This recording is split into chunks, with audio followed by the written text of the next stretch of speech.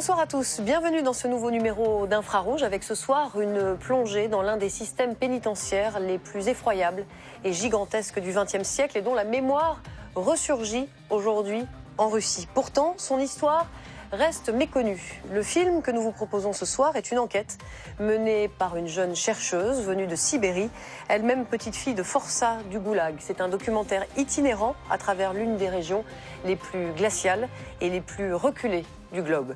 Voici Goulag, un film signé Michael Prazan. À tout à l'heure.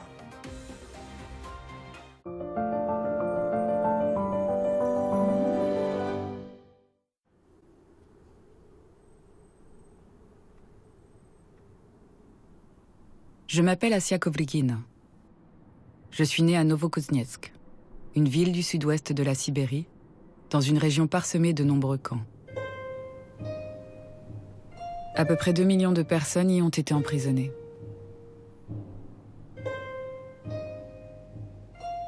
Mon grand-père, Samuel Schnapir, était journaliste à la Pravda, l'organe du Parti communiste, avant de revêtir son uniforme de détenu.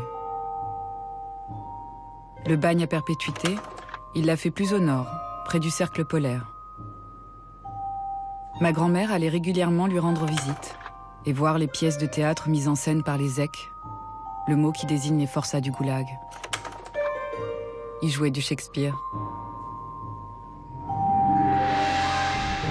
Quant à moi, ancienne élève de l'école littéraire de Moscou, je travaille, depuis mon installation en France, sur l'histoire douloureuse de l'Union soviétique la Russie dans laquelle je suis née.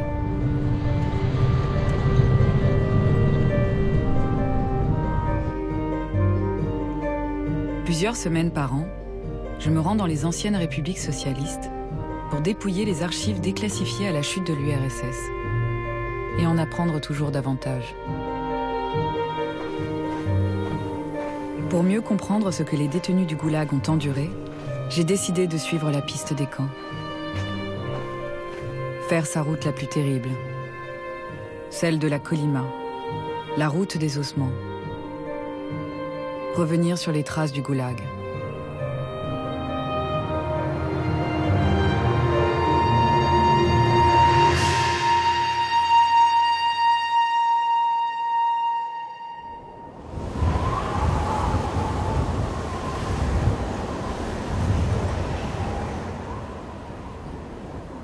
Au début des années 1930, Goulag est un acronyme qui signifie Administration principale des camps.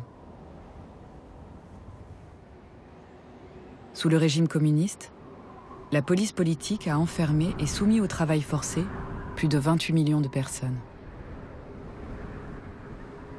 La répression menée contre les opposants politiques et les campagnes destinées à purger et discipliner la population de l'URSS alimentèrent camps et villages d'exil pendant des décennies.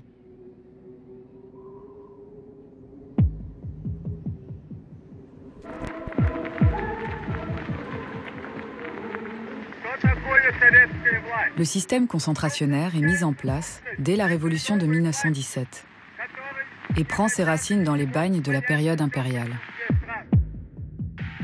À partir du XVIIIe siècle, l'empereur Pierre le Grand ordonne l'exil des criminels, avec femmes et enfants, dans les mines d'argent de Daori, en Sibérie orientale.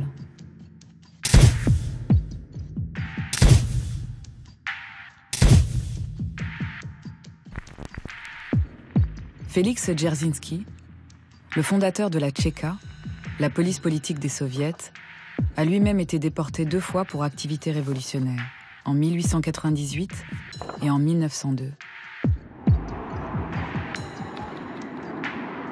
Les bolcheviks reproduisent le modèle pénitentiaire qui les avait mis au fer, mais en développant son administration. Elle connaîtra une croissance constante jusqu'à la mort de Staline en 1953.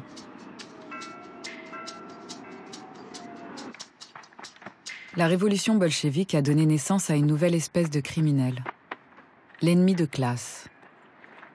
Les éléments socialement étrangers à la classe prolétarienne sont déclarés particulièrement dangereux.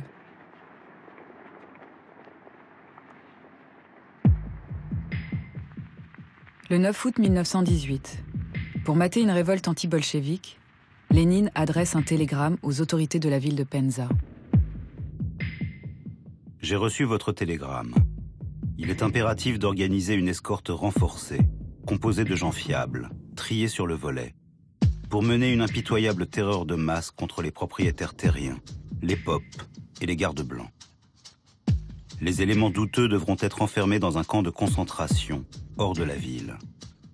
Lénine. Ce télégramme, c'est en quelque sorte l'acte de baptême du goulag.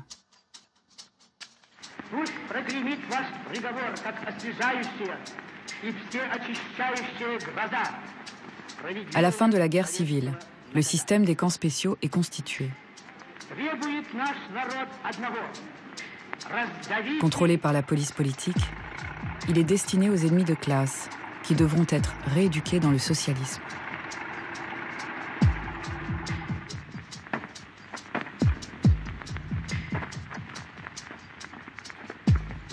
Si en 1919, une année après le télégramme de Lénine à Penza, la Russie comptait une vingtaine de camps, à la fin de l'année 1920, il y en a une centaine. Ils sont installés à l'abri des regards, en périphérie des villes, mais pas seulement. C'est au cœur de Moscou, dans le quartier de la Loubianka, le centre administratif des services de renseignement, qui abrite dans ses sous-sols une prison destinée aux prisonniers politiques, que surgissent les premiers camps.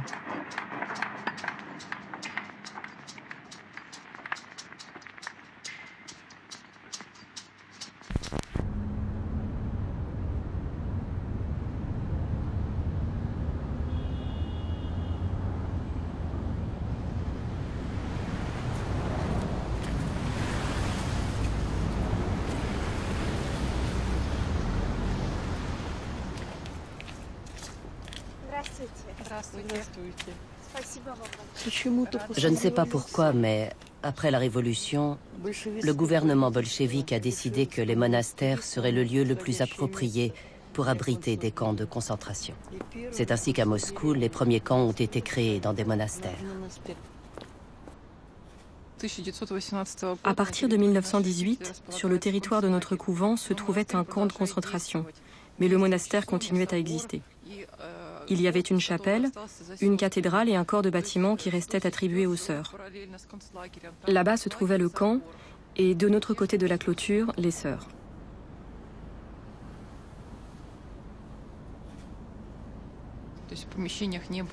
Il n'y avait ni électricité, ni eau courante.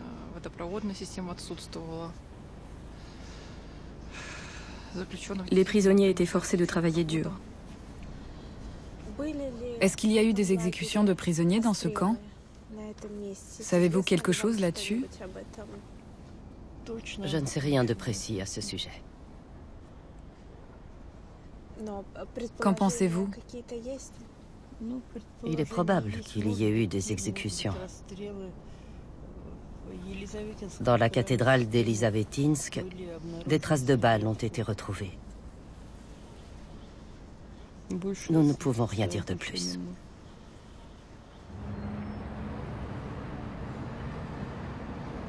Les grands travaux initiés par Staline dans la capitale emploieront cette main-d'œuvre captive jusqu'à la toute fin de son règne. Les chantiers sont légion. L'université de Moscou, l'un des sept gratte-ciels staliniens de la capitale, a en partie été construite par les détenus du goulag. Au début des travaux, on les acheminait depuis des baraquements installés à moins d'un kilomètre de là. Comme il n'y avait pas d'ascenseur dans le bâtiment, les zèques ne pouvant s'échapper, ils ont fini par être logés au 23e étage afin de réduire les effectifs de surveillance.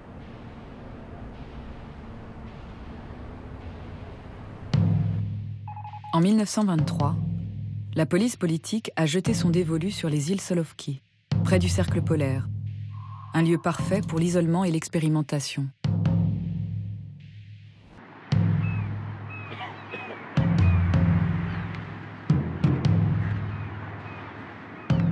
Les camps du Nord à destination spéciale des Solovki sont le laboratoire du goulag. Les normes de ration des détenus, les baraquements de 250 couchettes, l'organisation du travail forcé. Les techniques d'exécution et d'ensevelissement des corps.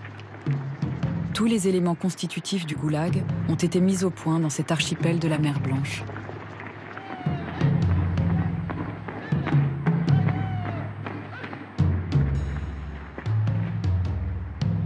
L'épanouissement des Solovki est lié à la personnalité de Naftali Frankel, un ancien détenu promu au poste de commandant des camps du Nord. Ce personnage est une des légendes du goulag. Son origine reste floue. On le dit juif d'Odessa, ou de Turquie, ou d'Autriche. On parle encore de ses talents de mathématicien et d'organisateur, de son dandisme, de ses rendez-vous secrets avec Staline.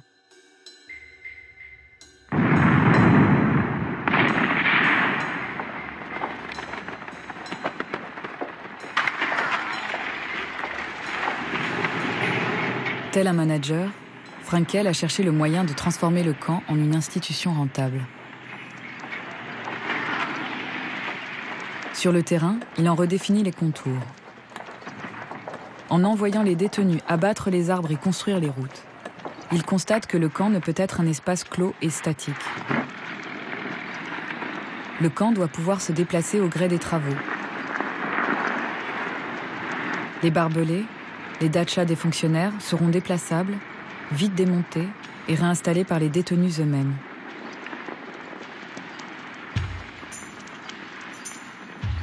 Le 29 juin 1929, un bateau aborde le petit port de Solovki. Au lieu des condamnés qui débarquent habituellement, un groupe de gens, souriant et gesticulant vivement, pose le pied à terre. Il y a parmi eux plusieurs tchéquistes en vareuse militaire, mais aussi un homme en civil, Maxime Gorky, le chantre de la révolution bolchevique, l'écrivain préféré de Staline. Gorky passe quelques jours sur l'archipel. Les autorités ont pris soin que le camp lui apparaisse sous son meilleur jour. Les détenus, eux, partagent cette idée, si forte dans la tradition russe, que l'écrivain est le protecteur des faibles. Nombre d'artistes et de littérateurs se trouvent parmi eux. Après le départ de Gorky, ils lui écrivent pour lui faire connaître leur situation réelle. Les lettres sont bien sûr interceptées par l'administration du camp. Certains de leurs auteurs les paieront de leur vie.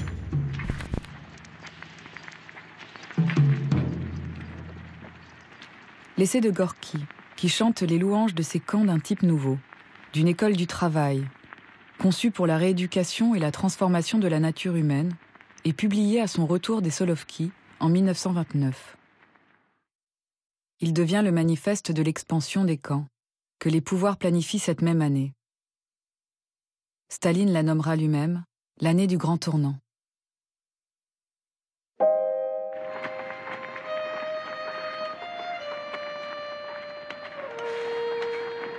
De gigantesques chantiers de construction sont lancés, tels que le canal de la mer Blanche ou la magistrale Baïkal-Amour, une ligne de chemin de fer qui traversera la Russie d'est en ouest sur 4234 km de rails.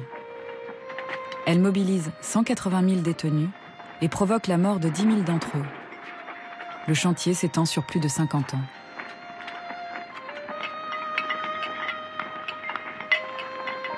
Plus tard, la voie morte, censée relier le cercle polaire à la Russie centrale, s'avère un chantier impossible. Le relief, les fleuves, les marécages et les conditions climatiques des régions qu'elle traverse en font une entreprise sisyphéenne et un puissant fond. Des milliards de roubles y sont déversés. 100 000 ex sont mobilisés. Le bilan humain se chiffre en milliers de morts. Pour rien. La voie morte tire son nom de son échec et ne sera jamais achevée.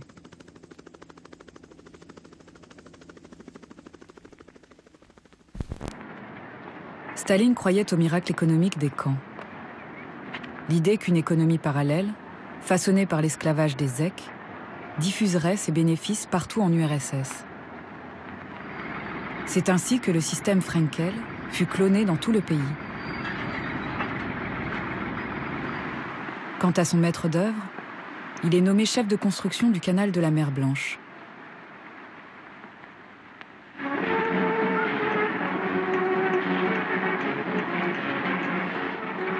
Frankel a survécu aux purges et sera par trois fois honoré de l'ordre de Lénine, la plus haute décoration en URSS.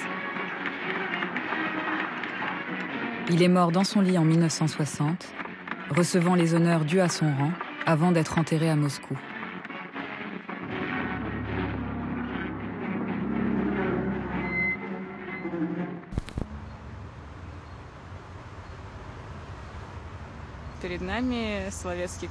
La pierre qui se trouve devant nous a été rapportée des îles Solovki, où à partir de 1923 se trouvait l'un des tout premiers complexes concentrationnaires.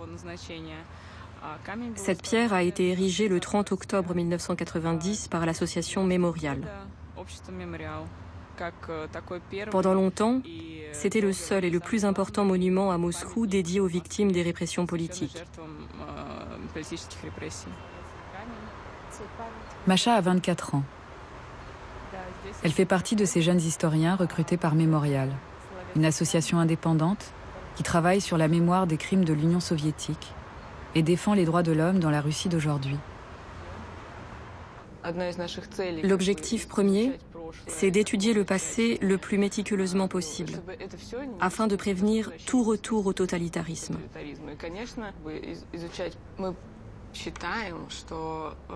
Nous croyons que pour fonder un État démocratique qui respecte les droits de l'homme dans son cadre législatif, qui respecte la dignité humaine et la vie en général, il est nécessaire de révéler et de reconnaître la vérité sur notre passé.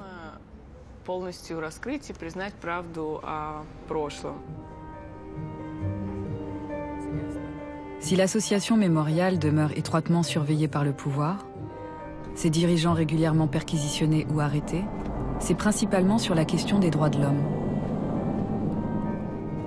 Car la mémoire du goulag, comme en témoigne l'ouverture récente d'un musée d'État qui lui est consacré, n'est plus tabou en Russie.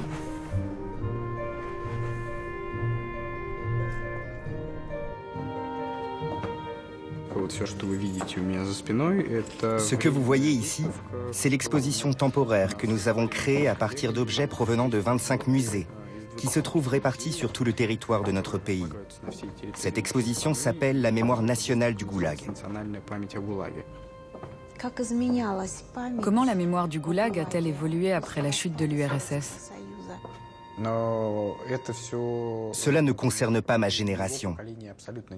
J'ai 35 ans et je n'ai commencé à en entendre parler qu'à partir des années 2000. Ce n'était pas enseigné à l'école. Avec le temps, une politique d'État a vu le jour. Elle commence seulement aujourd'hui à prendre forme. Bien sûr, beaucoup auraient aimé que ce processus débute dans les années 90, 2000. Mais j'ai le sentiment que c'est notre rythme et que nous n'aurions pas pu en suivre un autre. Cette évolution a sa propre logique. Ce qui est en cours actuellement n'aurait pas pu se produire avant. Il y a régulièrement des manifestations devant le musée, des gens qui s'opposent à l'idée d'un tel musée, qui disent qu'il vaut mieux oublier ce qui s'est passé et ne pas en parler. J'ai le sentiment que tout ça va passer. Justice a été faite. C'était une étape importante pour notre société.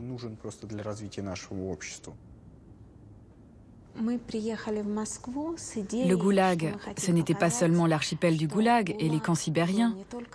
Il y avait aussi des camps dans la capitale. À Moscou, il y a encore des lieux qui sont une partie indissociable du mécanisme de répression. C'est le cas de ce que l'on appelle la maison des exécutions, où dans les années 30 se trouvait le collège militaire de la Cour suprême. Plus de 40 000 personnes y ont été condamnées à mort. Il y a aussi la Kommunarka, le cimetière Donskoy ou le polygone de Butovo.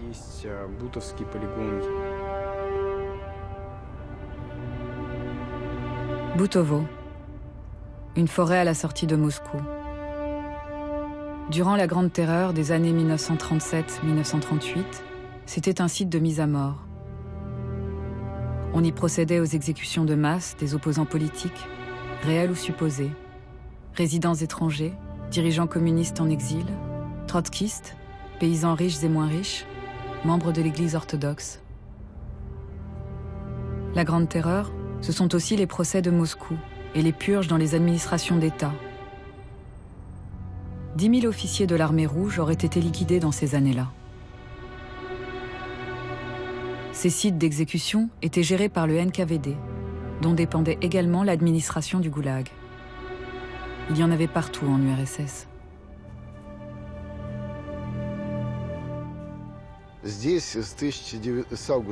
Ici, entre le mois d'août 1937 et le mois de novembre 1938, 21 000 personnes ont été fusillées. En particulier, sept évêques, plus de 350 prêtres, de nombreux fidèles et des moines. Les étrangers étaient automatiquement accusés de participer à un complot fasciste. Tout le théâtre national de Lettonie a été fusillé ici. Viennent ensuite les Polonais, les Allemands et enfin les Chinois. Les gens étaient conduits à la Lubyanka. On les amenait ensuite à la prison de la Taganka, dans la rue Voronzovski. Là-bas, on leur lisait les chefs d'accusation et ils devaient se soumettre à un interrogatoire. D'après ce que m'explique le père Artemi, les méthodes de mise à mort ressemblent à celles mises en œuvre quelques années plus tard par les commandos de tuerie sur le front de l'Est. En particulier, l'emploi de camions à gaz. Quand les exécutions ont commencé, ceux qui soutenaient encore le pouvoir soviétique criaient face aux soldats ⁇ Vive le camarade Staline Vive le Parti communiste !⁇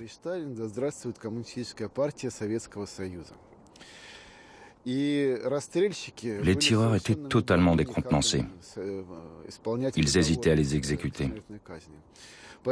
C'est pour cela que des mesures ont été prises, afin que les prisonniers se trouvent dans un état de semi-conscience. Ils étaient amenés sur le site de mise à mort, dans des camions, et les gaz des pots d'échappement étaient dirigés dans la cabine où se trouvaient les prisonniers. Si bien que quand ils arrivaient ici, ils étaient étourdis et ne comprenaient pas ce qui se passait. Ces camions arrivaient par là, par cette route que vous avez prise aujourd'hui. À côté de l'église en bois se trouvait la baraque où se déroulait le contrôle de l'état civil et de la photo.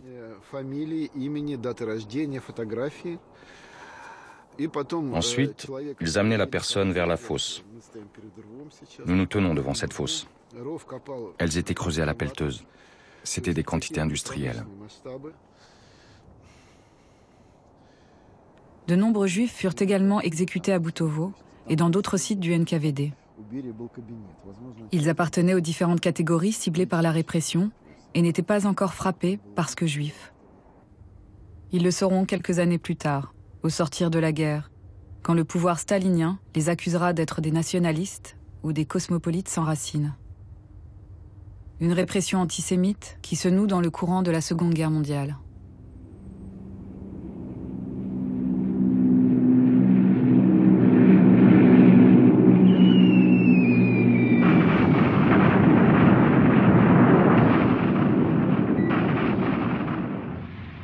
Partir de l'invasion de l'URSS par l'Allemagne nazie, le 22 juin 1941, les Juifs sont assassinés en masse par les commandos de la mort de la SS, qui opèrent dans la foulée de l'armée régulière allemande. Certains parviennent à rejoindre les lignes de l'armée rouge et se battent sous l'uniforme soviétique. La plupart n'ont pas cette chance. Le piège s'est refermé sur eux.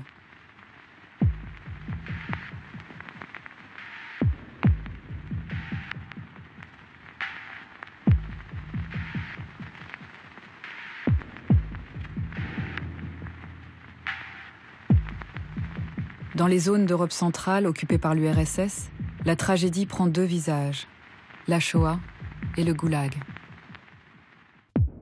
C'est ce qui est arrivé à la famille Epstein, que l'on voit ici, quelques minutes avant son exécution par les supplétifs locaux de la SS, sur la plage de Liepaya, en Lettonie, le 15 décembre 1941. La mère, le fils aîné, la fille, de cette famille naguère heureuse, sont tués debout, sur la crête d'une tranchée, creusée pour ensevelir les 2731 juifs de la ville. Le père, le banquier Raïm Epstein, faisait partie des 23 000 Lettons déportés au Goulag, après l'annexion des pays baltes par l'URSS en juin 1940. Il y est mort cinq mois après sa femme et ses enfants, sans savoir qu'ils ont été assassinés.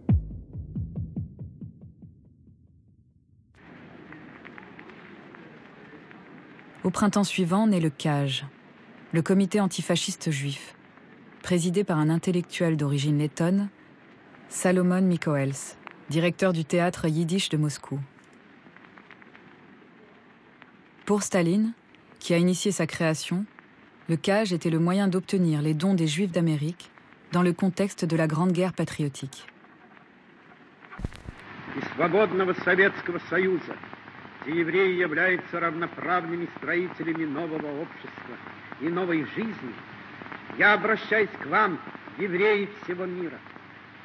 Сегодня, когда против вооруженной банды фашистских убийц ведет войну великий советский народ в союзе с народами Англии и Америки, наряду со всеми гражданами нашей великой страны, сыновья наши дерутся, участвуя в жизни и кровью великой отечественной и освободительной войне, которую ведет весь советский народ. Composé pour moitié de journalistes et d'écrivains, le CAGE prend rapidement conscience du génocide en cours perpétré par les nazis. Il sera à l'origine de la rédaction du livre noir, mise en forme par Vassili Grossman et Ilya Ehrenburg, qui, après avoir enquêté et collecté les témoignages, ont rapporté les massacres commis à l'Est par la SS. Staline s'agace. Les Juifs en font trop. Ils semblent davantage concernés par leur propre sort que par celui du peuple soviétique. Les Juifs se mêlent de ce qui ne les regarde pas, écrit-on dans les arcanes de l'administration d'État. Après la capitulation allemande, une violente campagne anti-juive se répand dans la presse.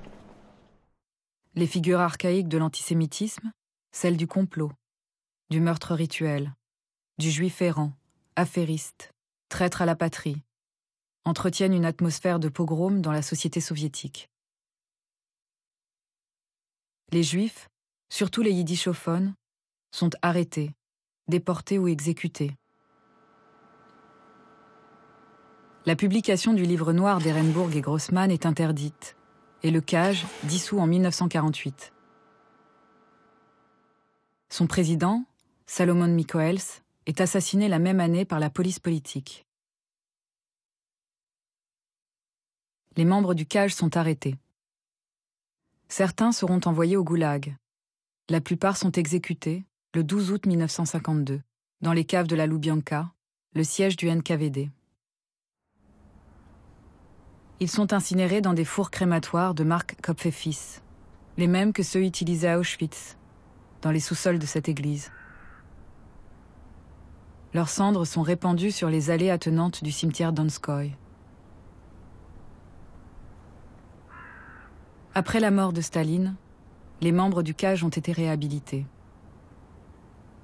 Dans ce même cimetière, parmi les autres nationalités victimes de la répression, une plaque leur rend hommage, de même qu'un buste de son président, Salomon Mikoels.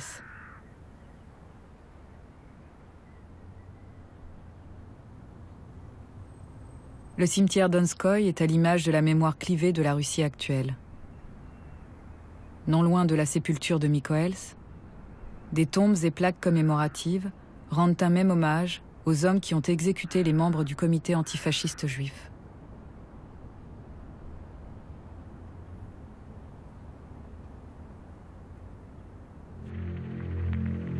La liquidation du cage s'accompagne du meurtre de Raoul Wallenberg, le plus célèbre des justes parmi les nations, qu'on voit ici, en 1940, instruire de jeunes recrues au tir.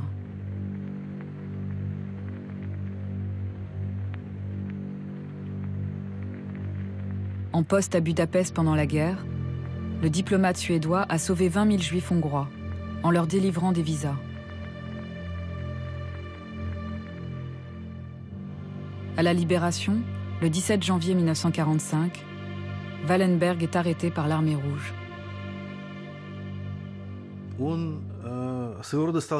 Il est devenu un symbole, un symbole d'abnégation par l'aide qu'il a apportée aux Juifs et un symbole de martyr, car son destin fut tragique. On sait beaucoup de choses sur ce que Wallenberg a fait à Budapest, mais on sait très peu de choses sur ce qui lui est arrivé ensuite et pourquoi. De nombreux documents concernant Wallenberg ont été détruits. Aujourd'hui, bien sûr, il existe des aveux officiels des Russes sur le fait qu'il a été arrêté et amené à Moscou. Le dernier endroit où il s'est retrouvé, c'était la prison du NKVD, sur la place de la Lubyanka. Précisément, il est mort le 17 juillet 1947. C'est pratiquement une certitude.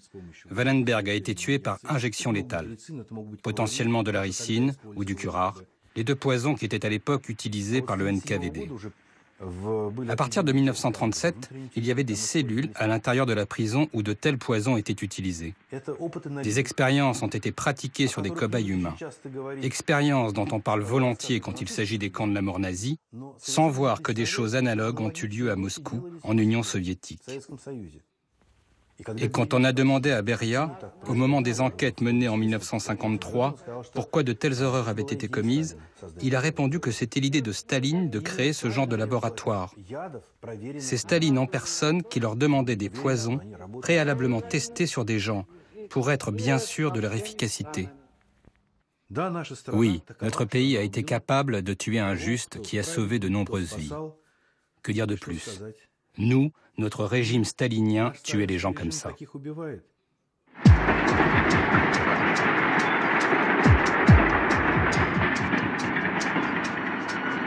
Le goulag n'avait pas pour seul objectif la répression des opposants politiques. À partir des années 30, la logique répressive marque le pas devant les enjeux économiques.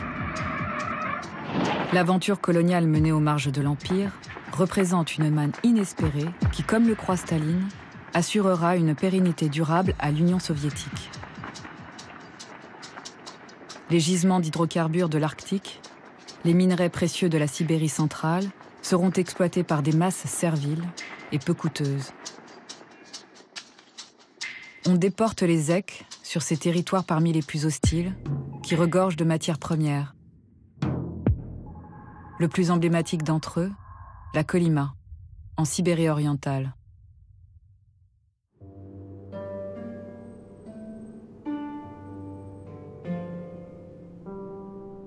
La plus vaste région, du plus grand pays du monde. La moins peuplée également. La température y chute à moins 60.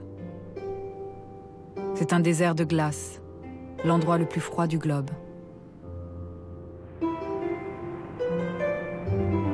Je m'y rends pour faire la route qui relie Yakoutsk à Magadan, l'un des grands chantiers de l'époque du Goulag.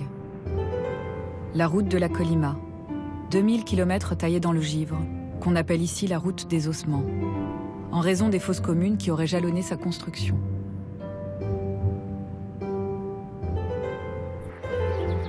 Tout a commencé à la fin des années 20, quand une expédition de géologues pose le pied dans la baie de Negaïev, sur la mer d'Orotsk, pour explorer les richesses de la région.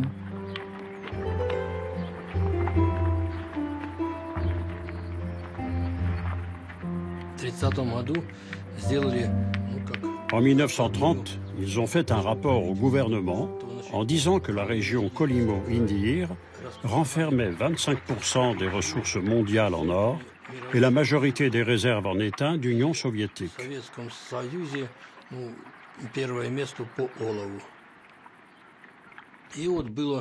Et le 11 novembre 1931, la décision a été prise de créer la compagnie d'Alstroy pour gérer l'exploitation de ces richesses minières. Ivan Panikarov est une référence mondiale de la mémoire du goulag. Arrivé en 1981 dans la Colima, cet ancien plombier chauffagiste se passionne très vite pour l'histoire des camps, jusqu'à leur consacrer sa vie. Devenu depuis journaliste et historien, Panikarov a aménagé un musée du Goulag dans le salon de son appartement de Yagodnoy, une cité ouvrière proche de Magadan. À l'époque, il n'y avait absolument rien ici. personne qui se porte volontaire pour venir dans la région. C'était une véritable terra incognita. Personne pour tout l'or du monde n'aurait accepté de venir ici de son plein gré. Or, le gouvernement cherchait désespérément le moyen d'exploiter cette terre. Et en 1931, la décision a été prise au niveau de l'État. C'était une loi ou, disons, une directive qui stipulait que les prisonniers condamnés à une peine de plus de trois ans devaient travailler, qu'ils ne passent pas leur temps à ne rien faire en cellule, mais qu'ils travaillent. Et c'est comme ça qu'on a commencé à amener les gens ici.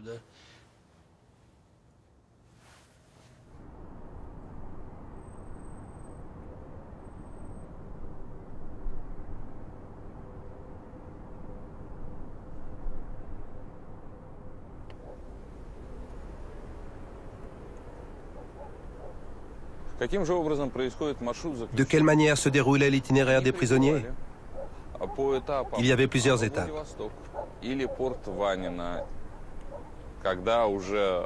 Quand il y avait suffisamment de prisonniers, c'est-à-dire généralement 1000, 1500, 2000, ils embarquaient au port de Vladivostok ou celui de Vanino. Et ils faisaient la traversée à bord d'un bateau appartenant à la compagnie d'Alstroy.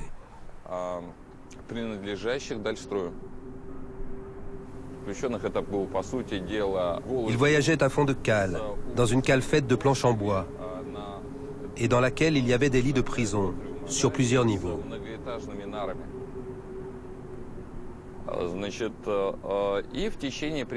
Après 10 à 12 jours de traversée en mer, les prisonniers atteignaient Magadan.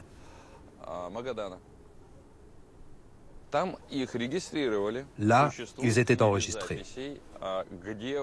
Des livrets d'enregistrement existent, où sont notés l'heure d'arrivée, le nom de famille du prisonnier, son numéro de matricule, celui du navire par lequel il est arrivé. On les envoyait ensuite dans l'espace de décontamination.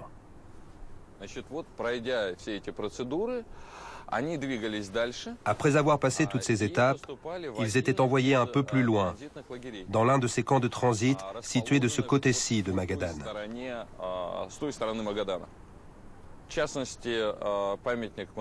Le mémorial appelé le masque du chagrin se trouve sur le territoire de l'un de ces camps de transit où ils étaient détenus en attendant d'être fixés sur leur sort. Serait-il expédié plus loin pour travailler sur la route ou sur une zone d'exploitation où il y avait des mines d'or Ou bien resterait-il ici, à Magadan, pour travailler à la construction de la ville?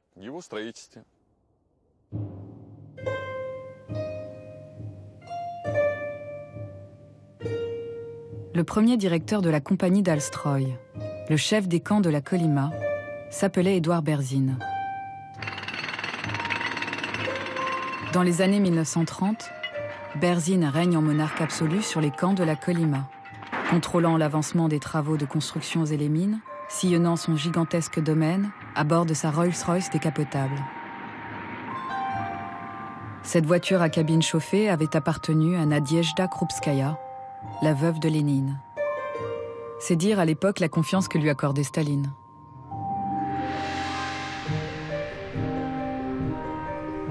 Berzine est considéré comme le fondateur de Magadan. Son efficacité sur le terrain n'est plus à démontrer, surtout en ce qui concerne l'extraction des minéraux précieux de la région.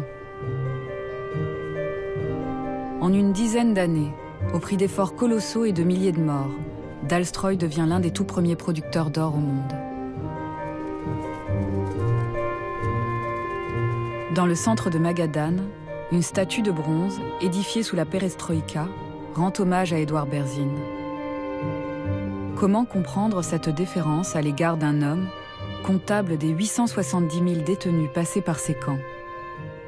Curieusement, le fondateur de la Colima n'a pas laissé que de mauvais souvenirs.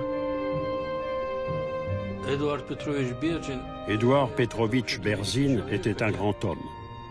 Sous Berzine, tout se passait de façon humaine. Les prisonniers travaillaient et ils étaient rémunérés au même titre que les gens libres. De plus, Dans le cas où le prisonnier purgeait sa peine pendant un an sans infraction, il avait le droit de se loger librement sur le territoire de la colonie. En 1937, la Grande Terreur, qui a gagné l'Empire soviétique, n'épargne pas la Sibérie. Édouard Berzin, dont le pouvoir grandissant dans la Colima a fini par inquiéter Staline, n'y survivra pas. Il a été arrêté en 1937 et inculpé pour activité anti-soviétique. On l'a accusé d'espionnage au profit du Japon, d'être un espion à la solde des Britanniques, bref, de toutes sortes de choses. Et il a été fusillé. Comme Berzin, 45% des fonctionnaires de l'administration des camps seront arrêtés entre 1937 et 1938. Quand le directeur de Dalstroy est remplacé dans la Colima, des sites de mise à mort sont créés autour de Magadan.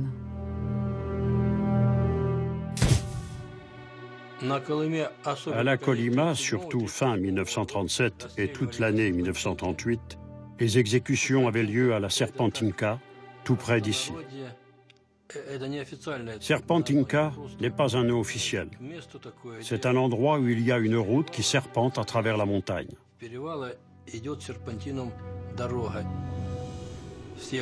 Tous ceux qui avaient été condamnés à la peine de mort étaient transportés à la Serpentinka. Et là, ils devaient attendre leur tour. Chaque matin, on y conduisait des gens pour y être fusillés. Au total, il y a eu plus de 11 000 exécutions à la Colima. On fusillait aussi à Magadan, dans un centre de détention installé derrière le bâtiment du NKVD. La fonction des services de sécurité n'était pas que coercitive. Le NKVD s'occupait aussi, en fonction des besoins en effectifs de la compagnie d'Alstroy, de l'affectation des prisonniers. La plupart étaient assignés à la construction de la ville. À l'époque du Goulag, Magadan était un gigantesque camp. Les architectes qui ont conçu ces bâtiments, déportés depuis les métropoles de Russie centrale, ont reproduit ici l'architecture de Saint-Pétersbourg. La nostalgie de leur ville natale se lit encore sur les murs de Magadan.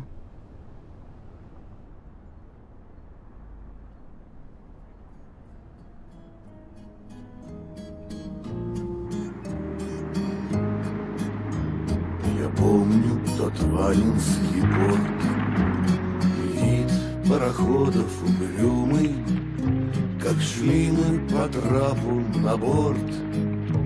В холодные мрачные трюмы Как шли мы по трапу на борт. В холодные мрачные трюмы На море спускался туман. Пела стихия морская, Вставал впереди Магадан, Столица Колымского края. Вставал впереди Магадан, Столица Колымского края. Прощай, моя мать и жена, Прощайте, любимые дети, Знать горькую чашу до дна Придется мне выпить на свете Знать горькую чашу до дна Après avoir purgé leur peine, les EC demeuraient le plus souvent assignés à résidence dans leur région de détention, sans être autorisés à la quitter. Ce n'était pas qu'une punition. Pour l'administration du goulag, il s'agissait de créer des colonies de peuplement. C'est ainsi que sont apparues les métropoles de Sibérie, ces villes staliniennes telles que Novokuznetsk, qu'on appelle aussi Stalinsk, la ville où je suis né, ou Magadan.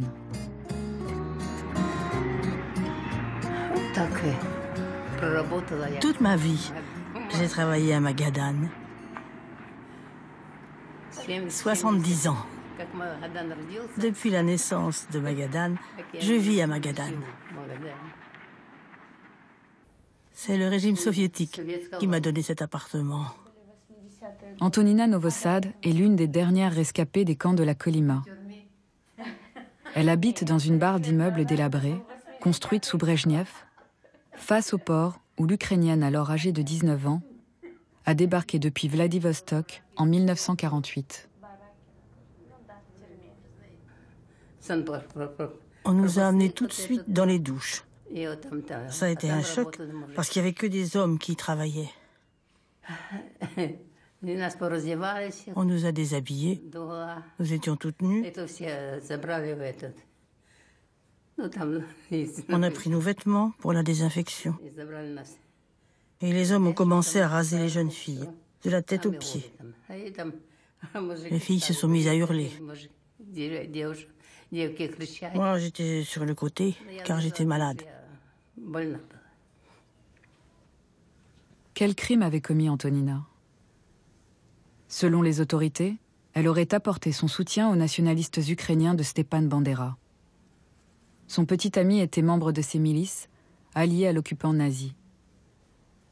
Après son arrestation, elle est torturée plusieurs jours avant d'être déportée en Sibérie. Antonina a passé huit ans dans les camps. Dans notre équipe, il y avait une quarantaine de personnes, que des jeunes filles. Quand je travaillais dans les gisements, c'était pour extraire du métal. Je me souviens que c'était quelque chose de noir. Là, les hommes creusaient la roche et les pierres nous arrivaient sur une machine. On les ramassait, on les mettait dans un chariot. Et il fallait ensuite les faire sécher.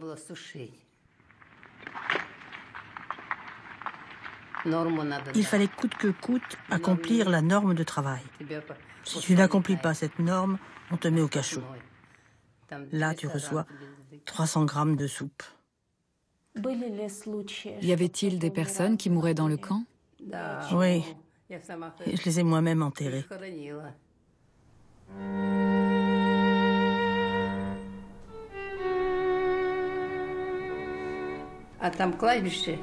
Le cimetière était dans la forêt.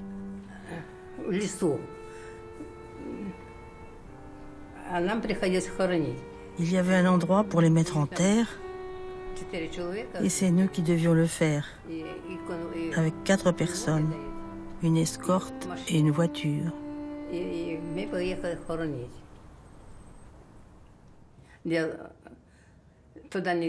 Dans la forêt, il y avait un endroit où nous n'avions pas le droit d'aller. Et une de mes camarades a voulu manger des baies. Il y avait des baies, des érelles dans ce coin-là. Elle est passée sous les barbelés pour les cueillir. Quand elle s'est baissée, le soldat a dû penser qu'elle cherchait à s'enfuir et il a tiré sur la jeune fille. Et on a dû l'enterrer.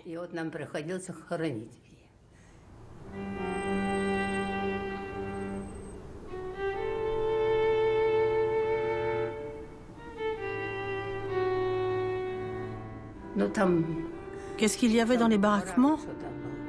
Les couchages. On y dormait à deux personnes. Il y en avait d'un bout à l'autre de la baraque. C'est comme ça que nous dormions, deux par deux, en haut et en bas.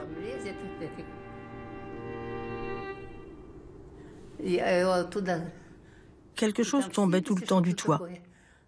C'était les punaises qui nous tombaient dessus. Elle me mordait si fort.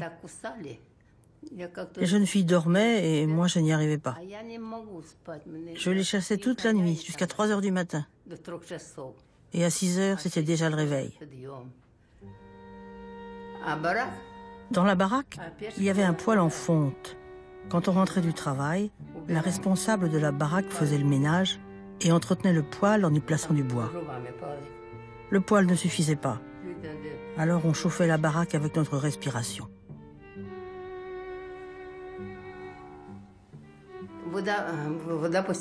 Et l'eau coulait sur les murs.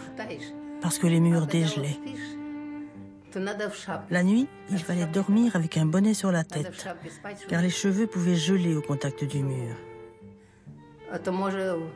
On nous distribuait des bonnets.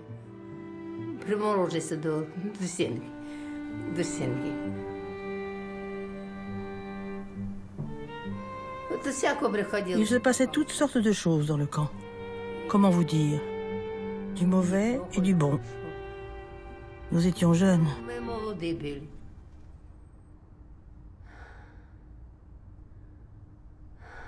À l'époque d'Antonina, dans les années 40, ces baraques étaient pour la plupart peuplées de prisonniers de guerre et de collaborateurs présumés du Troisième Reich. Il y avait ici des Ukrainiens, des Baltes, des Allemands, des Polonais, des Japonais et aussi des Russes. Sur près de 4 millions de soldats soviétiques prisonniers de l'Allemagne nazie, 2 millions seulement sont rentrés en URSS après la guerre. 15% d'entre eux, suspectés d'avoir trahi la patrie, seront expédiés au goulag. La cohabitation entre détenus était souvent houleuse. Il arrivait que des prisonniers juifs partagent leur chambrée avec des Ukrainiens ou des Baltes qui, sous les ordres de la SS et du SD, avaient assassiné leur famille. Il y avait aussi ce qu'on a appelé la guerre des chiennes, un conflit entre truands qui dura près de dix ans et qui fit des milliers de morts.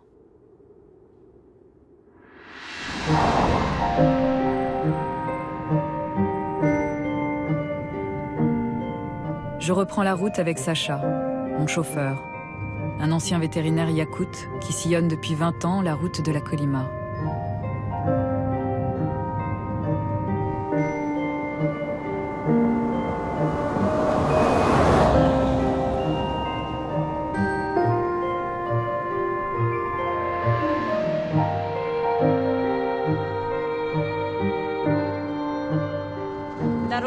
La route a été construite pour relier Magadan à Yakoutsk Oui. C'est pour cela qu'a été fondée la compagnie d'Alstroy. Et toute cette masse des éléments socialement nuisibles, on l'a affectée à la construction de la route de la Colima et à l'extraction des ressources minières, notamment des métaux qui ont contribué au développement de notre industrie nucléaire.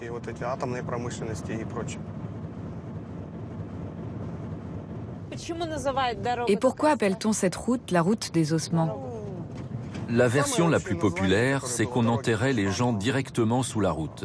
Ceux qui avaient été fusillés et ceux qui étaient morts de maladie ou d'épuisement. La terre était gelée. Il n'était pas évident de creuser des tombes.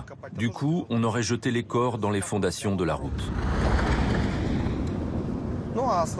Mais la vraie version, celle que je crois être la bonne, c'est qu'on enterrait les gens sur les côtés, très près de la route de l'époque, à 10 ou 15 mètres.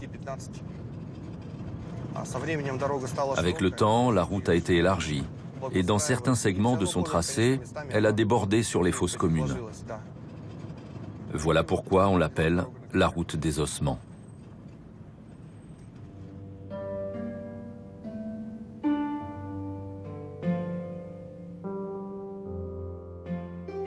Les paysages ont changé depuis que nous avons quitté Magadan. Le désert de glace s'est comme refermé sur nous.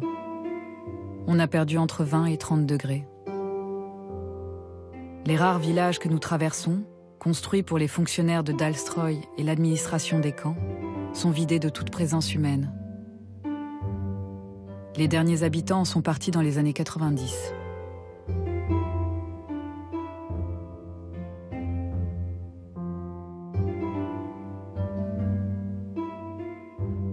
Nous sommes entrés en Yakoutie, le territoire des Evenks, le peuple des éleveurs de rennes.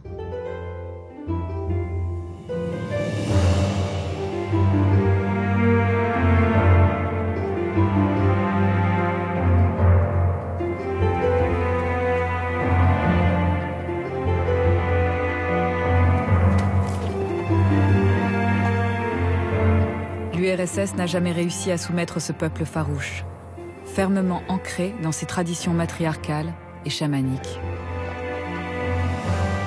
Comme les Mongols, les Evenks sont semi-nomades. Ils vivent au plus près de la nature, par moins 50, sous de simples tentes, au milieu de leurs troupeaux. Les Evenks sont les seuls à pouvoir survivre par ces températures extrêmes dans un milieu si hostile. À l'époque du goulag, comme il n'y avait nulle part où s'enfuir, les gardiens étaient peu nombreux pour surveiller les détenus. Mais il y avait quand même des évasions.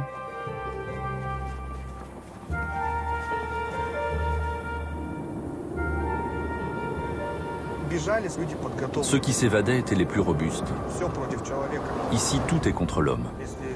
Si c'est l'hiver, il fait très froid, ce sont les montagnes. Sans parler des points de contrôle qu'il y avait partout. Alors ils s'évadaient par la taïga. Et là, on faisait appel à une brigade spéciale constituée d'évêques. Après avoir été embauchés, les chasseurs évenques partaient dans la taïga avec les chiens huskies. À leur retour, pour preuve qu'ils avaient rempli leur mission, ils ramenaient les oreilles du fugitif. Les gardiens pouvaient alors cocher la case « a été exécuté au cours d'une tentative d'évasion ».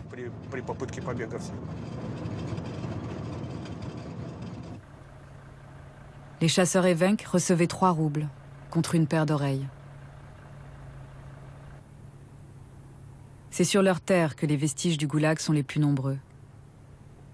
On y trouve encore ces panneaux de signalisation posés par les prisonniers. Yakoutsk à l'ouest, Magadan à l'est. Et aussi des baraquements.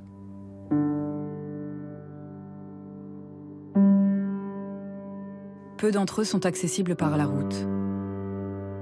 Des camps entiers, restés presque en l'état, des ponts de bois, édifiés par les Zecs dans des conditions qu'on peine à imaginer. Beaucoup de ces vestiges ont néanmoins disparu à la chute de l'Union soviétique. Quand tu as commencé à faire de la route, il y avait plus de baraquements? Oui, il y en avait plus. Beaucoup de gens pensent ici que ce sont des lieux maudits, qu'ils doivent être détruits. Une partie de ces vestiges a été incendiée. La politique de l'État aujourd'hui est de les préserver en les reconnaissant comme un patrimoine historique.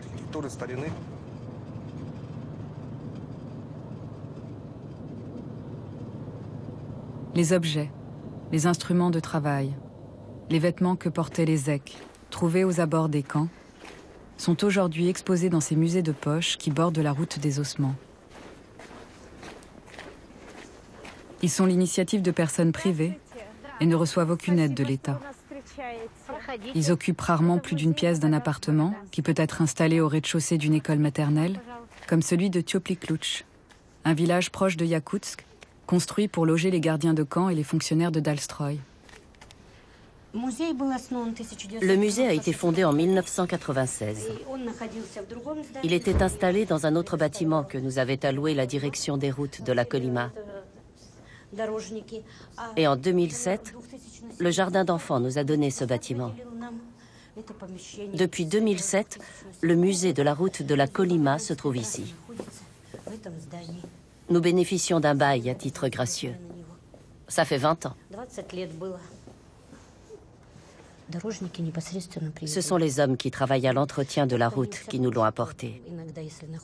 De temps en temps, quand ils trouvent quelque chose d'intéressant, ils viennent le déposer dans notre musée.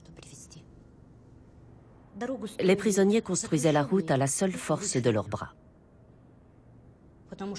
Il fallait un an pour faire 500 mètres.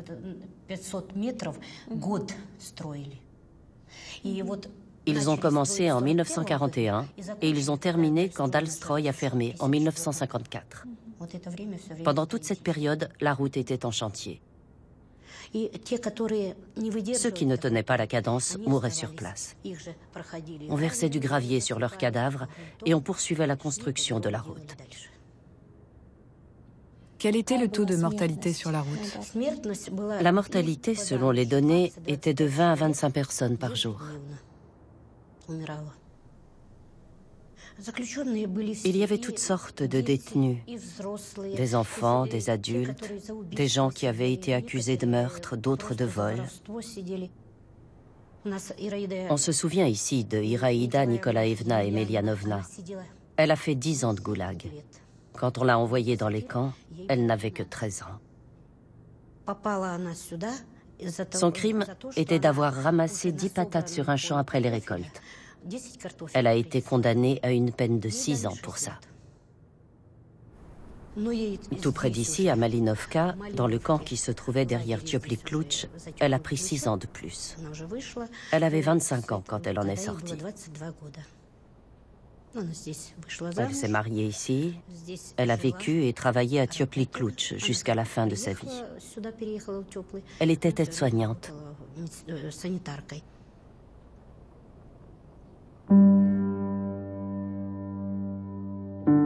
L'écrivain Varlam Shalamov fut également aide-soignant en Sibérie.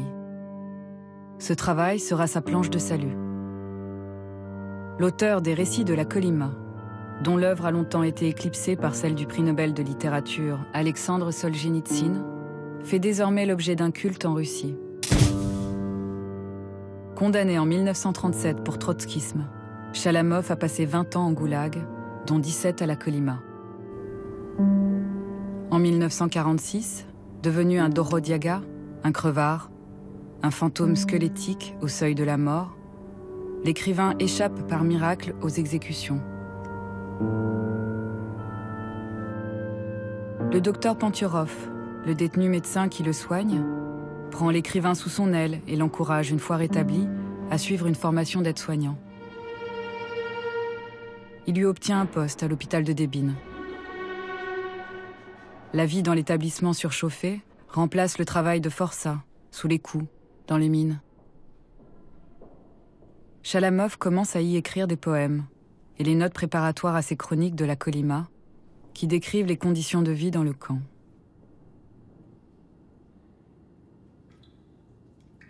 Prévoir sa vie plus d'un jour à l'avance n'avait aucun sens.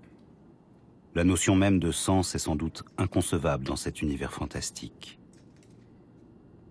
Cette solution, vivre au jour le jour, ce n'était pas le cerveau qui l'avait trouvé, mais une sorte d'instinct animal propre au détenu, l'instinct des muscles.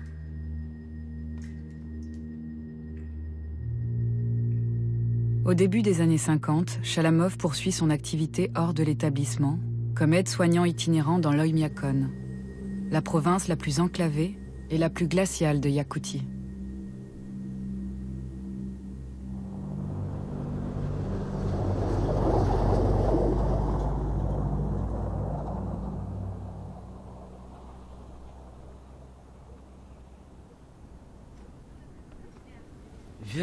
Вернувшись в будни деловые с обледенелых синих скал, сегодня, кажется, впервые я о тайге затасковал.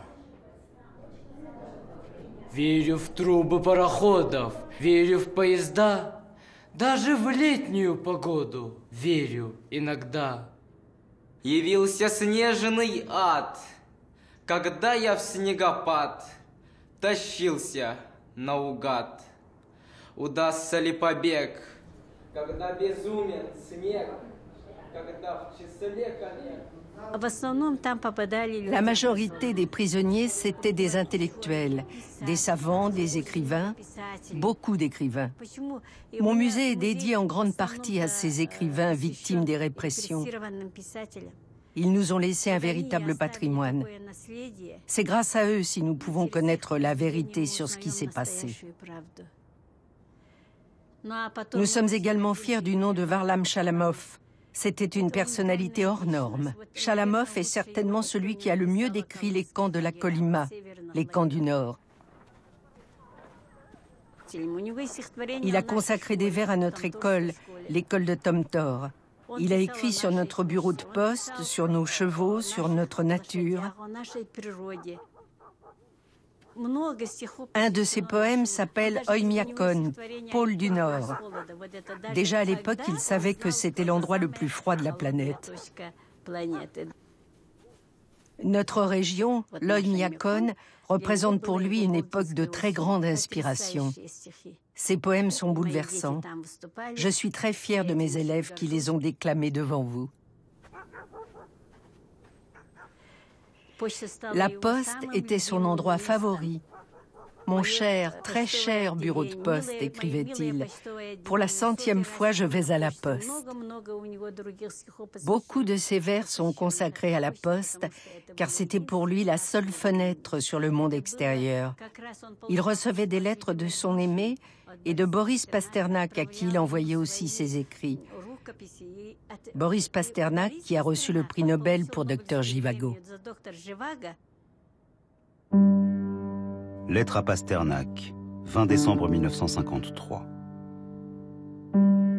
Cher Boris Leonidovitch, j'ai lu votre roman. Jamais je n'aurais cru, jamais je n'aurais pu imaginer, même dans mes rêves les plus fous de ces 15 dernières années, que je lirais votre roman manuscrit, encore inachevé, inédit, et qui plus est envoyé par vous personnellement. Il y a deux mois à peine, étranger à tout ce qui m'entourait, égaré dans l'hiver, j'essayais timidement ou avec désespoir d'échapper à la violence de ce monde qui écrase l'âme et la corrompt. Un monde auquel je ne suis toujours pas habitué au bout de 17 ans.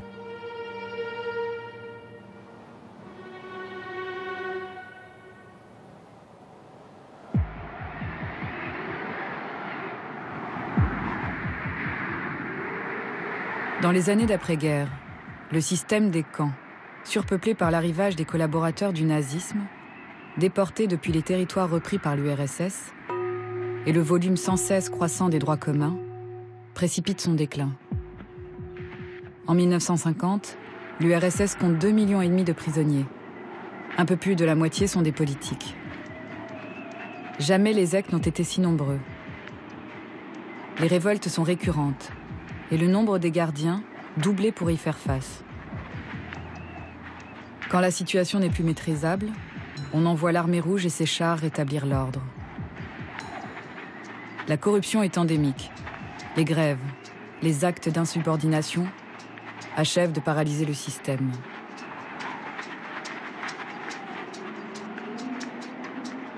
Loin de garantir la manne promise par Staline, le goulag consomme 20 milliards de roubles d'allocations budgétaires, un peu plus que le système de santé publique. La seule institution qui continue de produire des résultats, ce sont les charachkis, les laboratoires prisons, consacrés aux recherches les plus sensibles. Des milliers d'ingénieurs et de scientifiques, des Allemands enlevés en RDA, des Russes soupçonnés d'activités contre-révolutionnaires y concevaient de nouveaux armements. C'est ce que décrit Alexandre Solzhenitsyn dans Le Premier Cercle.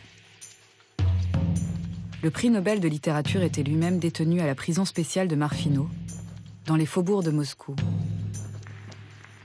Entre 1947 et 1948, des dizaines de techniciens y travaillaient à la sécurisation des conversations téléphoniques pour le Kremlin.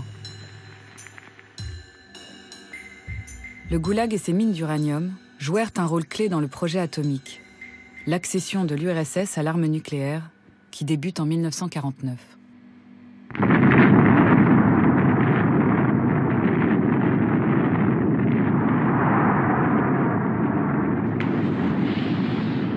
Au début, la moitié des cadres techniques employés à créer une bombe A étaient des EC.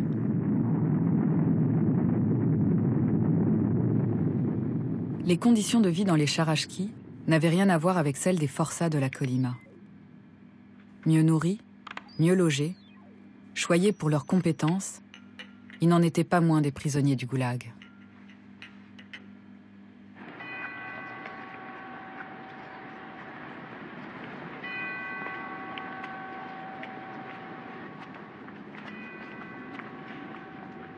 La mort de Staline, le 5 mars 1953, provoque la liquidation progressive des camps.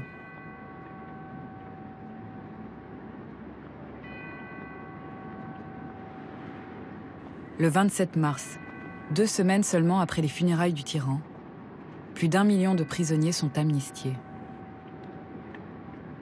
Mon grand-père, Samuel Schnapir, en faisait partie. Loin d'être grisé par cette libération, Schnapir eut bien du mal à quitter son exil à perpétuité. Il avait 50 ans, il n'avait pas élevé ses filles et n'avait vécu que très peu de temps avec sa femme. Il en avait rencontré une autre au bagne. Ma grand-mère alla le trouver pour lui annoncer qu'il était par deux fois grand-père. Le cœur du zec fondit. Il rentra au bercail.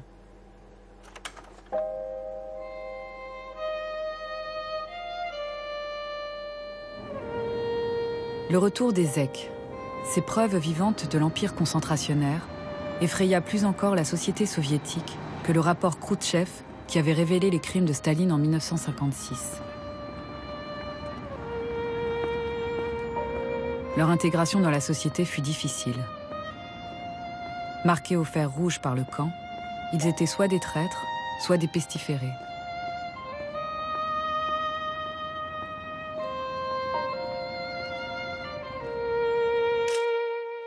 Chalamov, qui a lui aussi recouvré la liberté, n'en demeure pas moins, jusqu'à sa mort, sous la surveillance constante du KGB.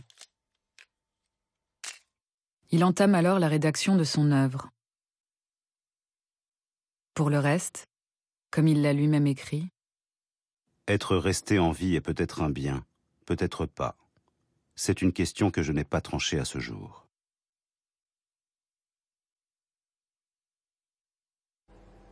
Rien de tout cela n'ébranla la foi communiste de mon grand-père. Muni de ce que l'on appelait alors un passeport de loup, qui interdisait aux anciens zèques de résider dans les villes de Russie centrale, telles que Moscou ou Saint-Pétersbourg, Schnapir, à peine libéré, reprit sa carte du Parti communiste. Fin 1955, il obtenait ses papiers de réhabilitation. Il redevint journaliste, le métier qu'il exerçait avant les camps.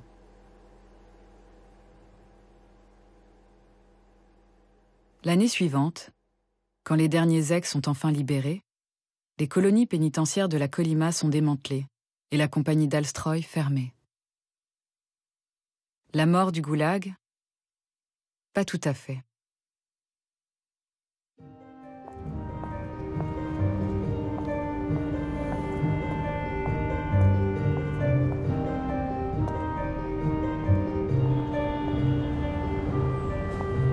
De passage à Paris, j'ai rendez-vous avec Nikita Krivoshein, un intellectuel issu d'une famille de la noblesse russe, dont le père a été déporté dans un camp sibérien pour collaboration avec la bourgeoisie internationale.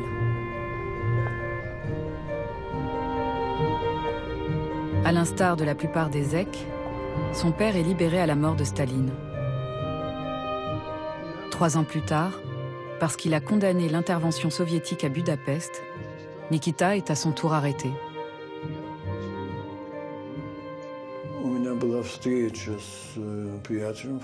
J'avais rendez-vous avec un ami français devant le monastère Donskoy. Je m'y suis rendu et j'y ai retrouvé mon ami et, à peine deux minutes plus tard, quatre hommes vêtus de vestes de travail ouatées me sautaient dessus en criant ⁇ Cet homme est un criminel d'État. La sécurité d'État est à sa recherche. ⁇ J'avais 23 ans. Le travail était très dur, très très dur. Il fallait scier, charger, décharger. Je devais porter moi-même des sacs de 100 kilos. Mon dos en souffre encore. Mais tout de même, j'ai eu de la chance. J'ai connu, après le 20e congrès, un régime, disons, convenable de détention. On était autorisé à recevoir des colis tous les deux mois. La correspondance était relativement libre. Bien sûr, elle passait par la censure et nous disposions d'une échoppe. Presque aussitôt après ma libération, ce bonheur relatif a cessé. Les échoppes ont fermé, les colis sont devenus interdits, la cantine payante a aussi été fermée, la ration limitée.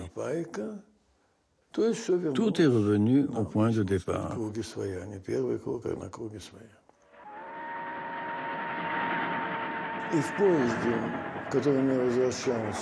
Dans le train qui me ramenait à Moscou, j'étais donc libéré, j'ai entendu par le haut-parleur du wagon le discours que Khrushchev a prononcé en Inde, dans lequel, je cite littéralement, il a dit Nous n'avons plus aucun prisonnier politique.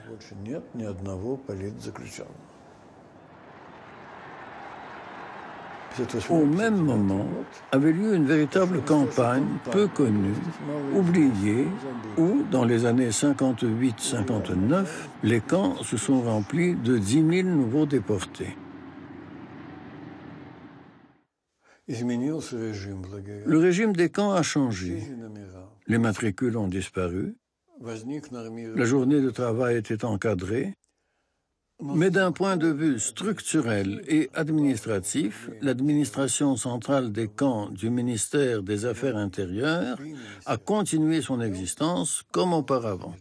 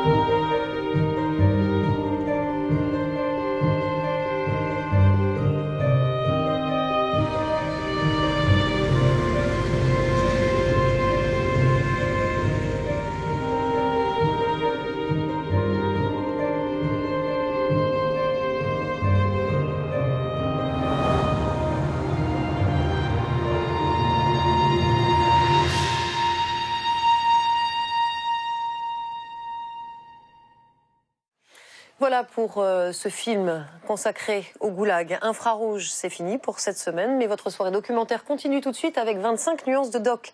Bonne fin de soirée, à bientôt.